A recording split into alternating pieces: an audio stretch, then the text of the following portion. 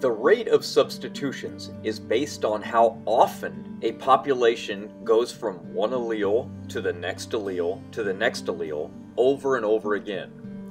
So what is the substitution rate in the wild type allele for a population? Well, the rate of substitution is based on assuming a mutation rate of a new allele.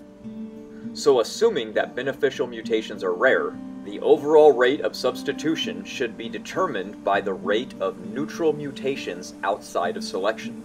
Kimura discovered this, and since most substitutions are not seen by selection, being neutral, the rate of substitution is the best observable mutation rate anyone can use, and why we use it over phylogeny-based assumption rates that do not align with one another whatsoever.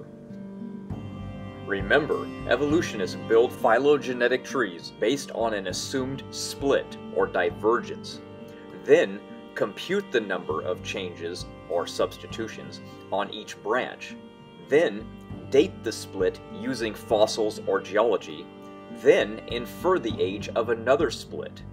So their entire evolutionary mutation rate is built around their own model and as you know, it is built off pure assumptions of the past that they admit they do not have evidence for, all to obtain the answers that agree with them. How do I know that they are wrong? Easy. Just look at this chart. Their own data proves them wrong.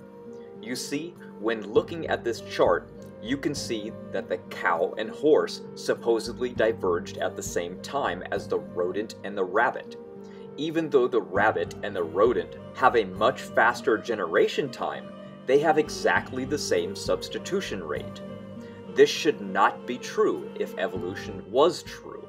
This is why they cannot see the obvious because their own theory won't permit it.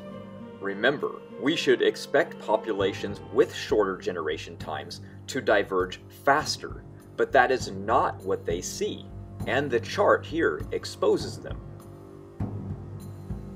evolutionists have to hold to the selectionist theory.